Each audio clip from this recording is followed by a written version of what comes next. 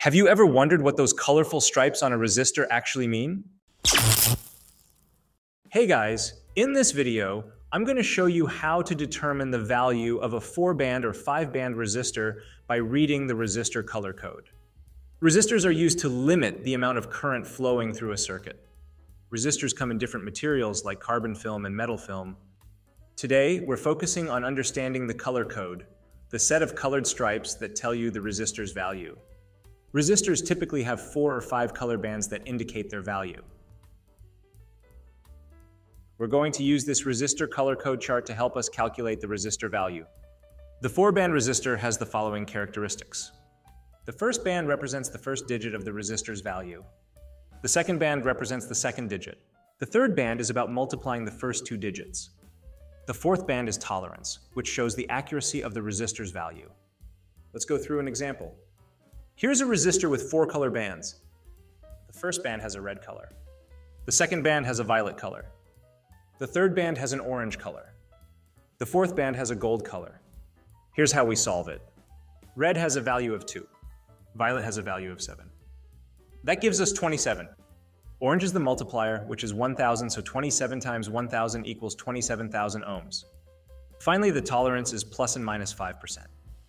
This means the real resistance can vary by up to 5% from the calculated value, so the resistor value can range between 25,650 ohms and 28,350 ohms. Now let's look at the five color band resistor. The only real difference is that you get an extra digit. This means the third band represents the third digit. Let's go through an example. The first band has a yellow color. The second band has a violet color. The third band has a black color, the fourth band has a black color. The fifth band has a brown color. Yellow has a value of 4. Violet has a value of 7. Black has a value of 0. That gives us 470.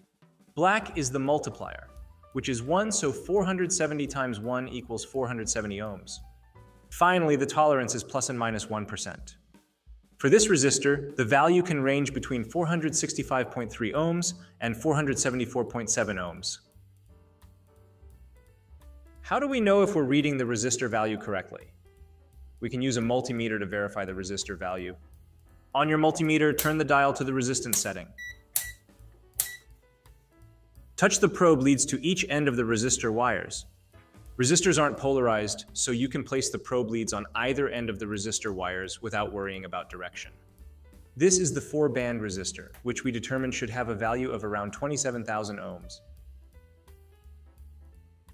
The reading shows around 26,000 ohms, so our calculation was correct.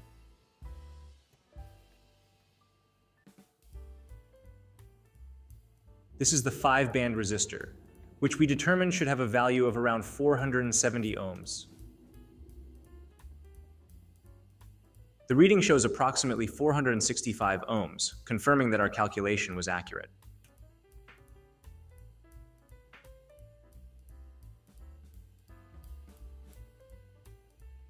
Here are a few tips to make reading resistors easier.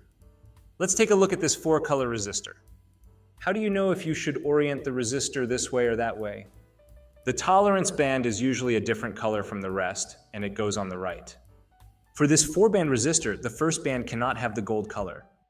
As you can see from this chart, the gold color can only be used for the multiplier or tolerance. This means the gold color has to be on the right side. Let's take a look at this five color resistor. Should the yellow color be on the left side or right side? Looking at this chart, you can see the tolerance value for yellow is empty. This means the yellow color has to be on the left side. After a while, you'll start recognizing common resistor values. Just by glancing at the colors, you'll know this is 470 ohms or 27,000 ohms. If you're ever unsure about the resistor value, you can use a multimeter to get an exact reading in seconds. I hope this video has explained what the color stripes on a resistor mean. If you found this video helpful, give it a thumbs up, consider subscribing for more electronics tips and tutorials, and hit the bell icon to never miss an update. Thanks for watching, and I'll see you in the next video.